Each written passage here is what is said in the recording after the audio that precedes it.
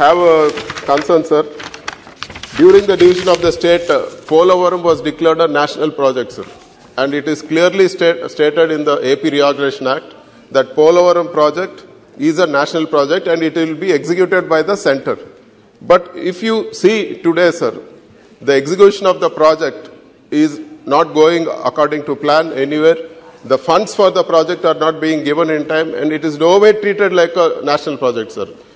Polavaram project is the lifeline of our state, Andhra Pradesh. During the division, they said that Polavaram project will be done, sir. It was there in the AP Reorganization Act. It clearly states. But if you see, there are various issues which are coming up, sir. During the course of the project, and because of the new land acquisition rules, the cost of the project shot up. The land acquisition and R&R cost shot up, and the central government and Jal Shakti approved the cost estimate at 55,548 crores. Uh, the technical advisory committee passed it in 2019, sir. But till now, the finance department is yet to uh, ratify it, and it's still pending for approval from the finance department, which is not good, sir. It is not happening with any uh, national project.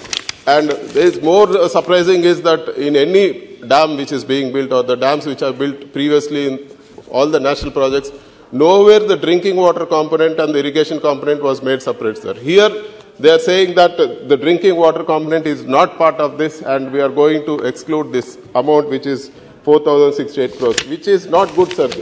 You can't uh, build a dam and, said, and say it's not meant for drinking, it's only for irrigation, and if you are going to use for uh, drinking water purpose, we are going to reduce the amount. It is, it is not fair for the department to say this, and we demand that the drinking water be also part, like any other national project which have, been, which have, which have been done in our country. And we also demand for removal of component-wise restrictions, sir. In spite of all the restrictions we are having, any during the course of the project, there will be various components which will come up based on the designs. So any change in components, now they are restricting payments, sir, which is not good. If you take, for example, a national highway project, the length of the bridge might go up or the length of the road might go up, but still the execution happens, the whole road is completed. Nowhere they say that no, now the component has increased, we will restrict the payment. It is not fair, sir. Why only for Polavaram they are doing like this? So we demand that a removal of component-wise restrictions for Polavaram project, which is which has been the restriction has been imposed totally, really unfairly, and we also uh, demand that the issues related to land acquisition R&R be sorted out. So as proposed by Jal Shakti, it was uh, requested that the LA bills be scrutinized and paid directly to the beneficiaries under DBT, but it, there's been extraordinary delay. The project is getting delayed. The cost of land acquisition is going up, which is a loss for the country and loss for the state, loss for the people, sir. So we demand that whatever you have promised here, you have, you have told clearly that Polavaram is a national project and will be uh, constructed. So we are demanding that land acquisition money be paid immediately, and we also ask because of all these uh, delays, we also ask, uh, the, we demand the central government for ad hoc fund of 10,000 crores. If you see for any national project or a national highway project, the payments are done in, in just a week's time. But for Polavaram project, for one bill to be paid, it is taking months and months, sir. How do we expect a project to be completed like this?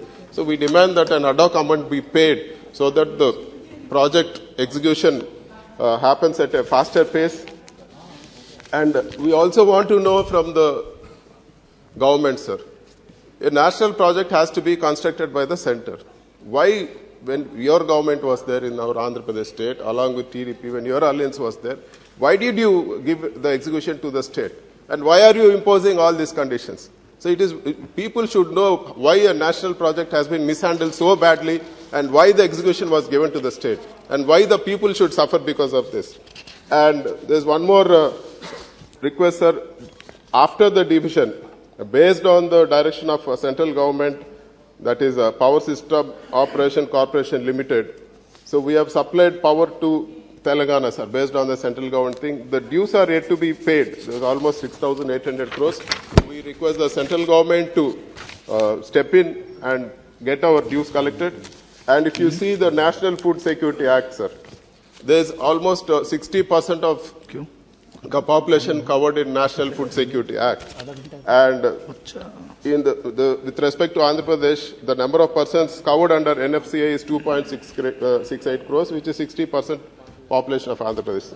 But the Act clearly states that 75% of the rural population and 50% of the urban population is eligible for National Food Security Act.